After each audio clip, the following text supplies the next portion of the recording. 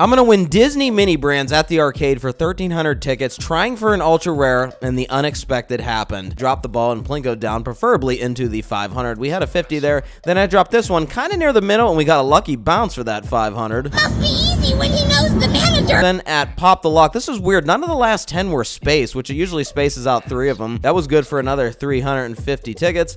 I decided to play a luck game here, so the Pirate Wheel, we got a 60, and then I was hoping for the 200 here, but it slowed up, and got a 90, so not bad values there. Then at Gear It Up, I can usually land the 100 almost every time, so you got to gear the ball up. It's a 100% skill game, and then you spin the wheel.